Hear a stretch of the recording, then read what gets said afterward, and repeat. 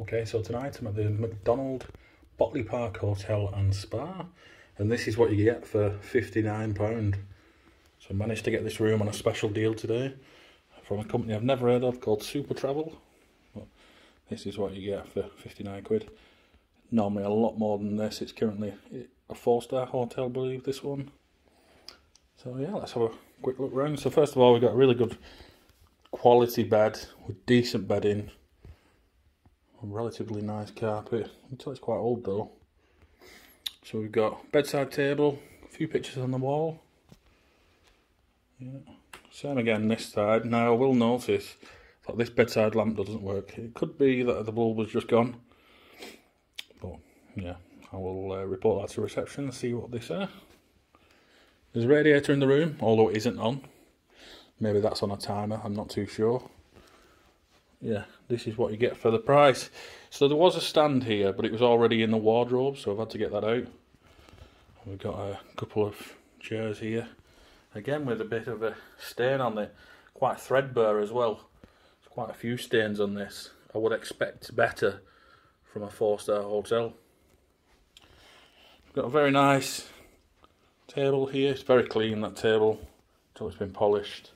And another one of these chairs with Threadbare again. Wouldn't expect this from such a good brand. More pictures on the wall. And tonight we've got a bit of a view of a car park. It's not too bad I suppose. I'm not here for the view. But just the little details here are, are pointing out to me. So these are curtains and the threadbare. Yeah, not good. And uh, if we look on the roof here, ceiling, sorry, we've got some cracks and a bit of something that's been filled in. A big crack running all the way down this one. Yeah, not good. So all the lights were off when I came in this room. So when they turn the main light on, we only get the one in the centre. But yeah, I had to go around and unplug, plug everything back in, sorry, and um, get them on. You would think that would already be done. The hotel at this price point, normally well over a £100 a night here, but yeah. So let's rest of room. We've got a lamp that can be pulled out. Yeah, so I'll not do that because it looks a bit dodgy. Uh, big TV with the remote and the batteries. So that's good. We've got a mini fridge. There's no water or anything in there. I think that would have been a nice touch. And maybe a little bottle of water. But no, nothing. So we got shortbread. They're good. Is the kettle clean, I wonder? Not particularly. There's quite a lot of lime scale at the bottom there, and it's quite yellow, so that's not good. This kettle does look quite old as well. Yeah, not the best. So we've got a tea and coffee caddy with some of the branded ones, Twinings and whatnot in there, so that's not too bad. I've also got a couple of glasses too. It's okay, it's not too bad. So we've got a, a desk here. There's a hairdryer in one of these drawers. I've just tried it. It does work perfectly. Again, it's just a bit old. You've got something under the glass here telling you about what you can uh, have and what's open and what's not. Another lamp and a nice mirror. I think this used to be uh, an interconnecting door, or still is, I'm not sure. We've also got a, a bin down there. You can tell it's an older hotel because we've got a trouser press and again, no one uses these anymore. Not that I'm aware of. Not seen anyone use one. Okay, so got extra towels and pillows, but they're not in a bag. Anyone knows someone's not had them already? Just put them back up there. That's not good. What else we got? A nice big wardrobe. Got an ironing board and an iron, and then the unstealable hangers along with a big mirror. Yeah, so that's okay. This whole hotel though just feels a bit run down. Although it looks nice on first impressions, uh, you can tell it needs a bit of money spending on it. This carpet, the more I look at it, the more I see stains and whatnot on it. And when I checked in, I was asked if I wanted to upgrade my room for an extra £20. Now, personally, I think if the sleeping room's already, I think they should be providing you a better room to start with. I shouldn't have to pay extra to get something that what I paid for. But here we go. So this is the bathroom. Still, it's like a Victorian style um, that they're going for here, but it is all functional. Just tell it's older. It's quite clean. Nice toilet. It's a decent toilet roll. It's not the cheap stuff. Uh, a few towels there and a heated rail. Thankfully, this one isn't with gaffer tape all over it like at Britannia. So we've got the extra soap on a wall there. It's decent ones. Uh, and we've got some racks there for all your things and a shower as well. Up here. They do give you a bath mat, that's good. To put on the floor. They give you one of these absolutely minging and pointless non-slip mats actually make it worse. A couple of glasses here and a big mirror with shaver points and a soap as well. Now this hotel does have a pool, so you can use that. There is no extra charge for it, and they also have fast Wi-Fi. There's no extra charge for that too. We've got a in-room uh, air conditioning, so I'll be trying that out too. But yeah, overall, the room it's okay, but for a four-star hotel, I would have expected better. Everything seems to be run down the more you look, and you wouldn't really expect this from a Macdonald hotel. Usually quite bad, quite quite good, sorry. So yeah, that's that. What do you guys think? Don't forget to hit like and subscribe, and let me know what you see. Okay, so I went to reception and I told them about the issues that I'd had, and they've given me a different room. I, want, I don't know if it's not great or what, I'm not sure. It just seems because I was paying the cheapest amount, they give me the worst room. So I had to go and say something. So this is the other room. I won't do a full tour because it's going to be the same. Um, but yeah, this time I've got a super king size bed, some different coloured lamp shades, and lamps, sorry, and some random red chairs. Again, these look like they've been here for quite some time. The I'd say the 90s or early 2000s. So yeah, that's that. Bit of a stain there on the floor. Have we got a better view this time? Yeah, car park. Bit of green, it's not too bad. I'm not really looking at the window anyway. But this is what you get. It's quite a nice this room. It's just, you can tell this whole hotel is dated and really, really needing an upgrade it's okay I'm paying the price that I am tonight, but normally this would be more than double what I paid. It's only because it's the first week of January that this is this price.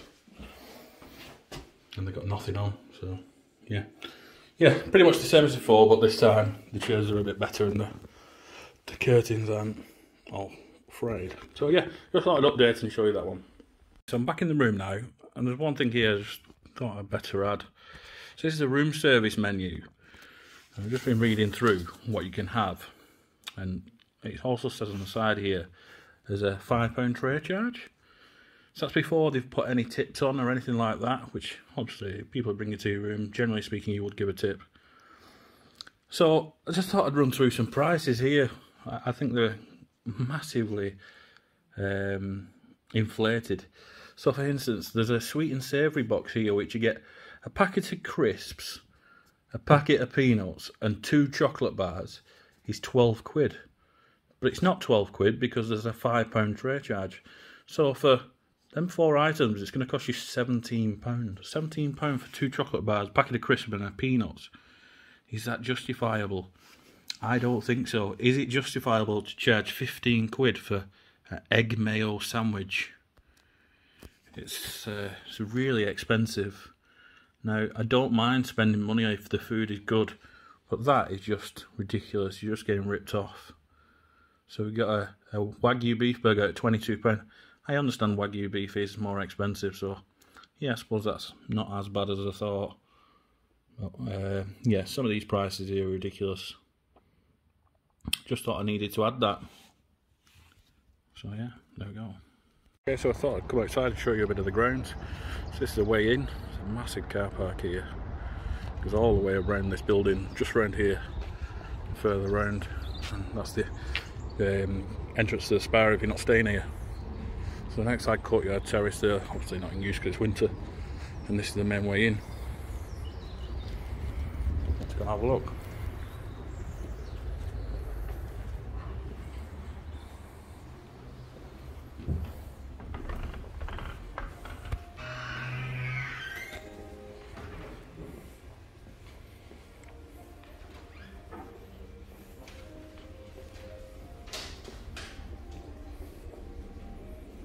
The bar area and lounge.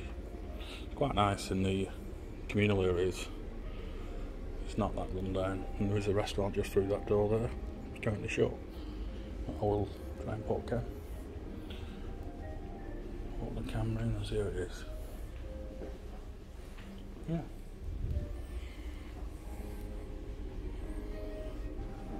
So just down here is where you check in, just to the right.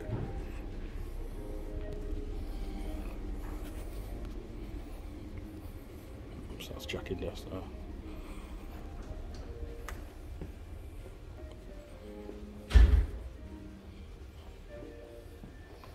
Like a bit of a communal area here.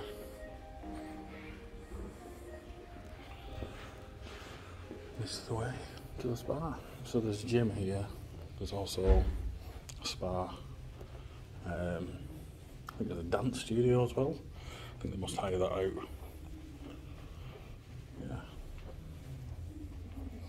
So this is gym.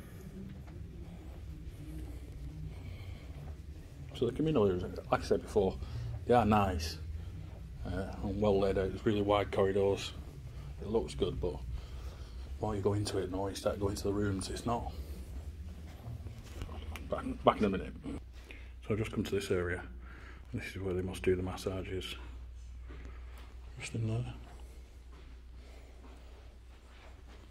There's also a, a sports bar in there as well. So we will go and have a look where the pool is. Back in a moment. There we go. Squash courts as well. That's good. Can hear the music in there. Someone's doing something. And this is the way into the pool. Okay, so I found the pool, but unfortunately there's people in it, so I don't want to film. It's just through this door here. There's like a separate reception. It's, uh, apparently it's 11 metres long, and just a jacuzzi as well, so... And it's currently 30 degrees. Does look quite good. So yeah, oh, wrong turn. So let's go to the room. I'll show you to the room. So all these lights on the corridor turn themselves off immediately. It's like a Britannia. Um, and the, the carpet's not the nicest. It looks good on the camera, but everywhere you look, there's just it's a bit run down and shabby. If you look at the bottom of the doors, a hotel at this price point, what it would be normally, you wouldn't really expect that. So, yeah. So I'm walking in the dark now, waiting for the lights to come on. Not good, really.